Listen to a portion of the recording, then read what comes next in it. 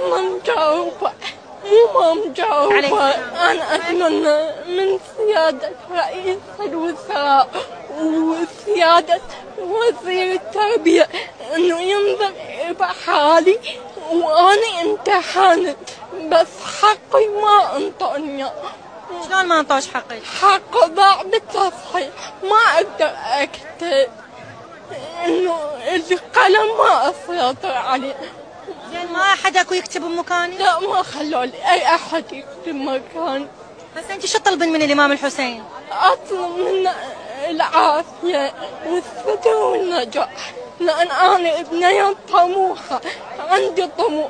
لو ما عندي طموح ما وصلت هاي المرحلة.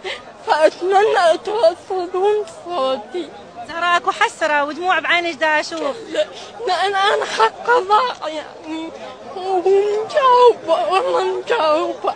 مو ما مجاوبة.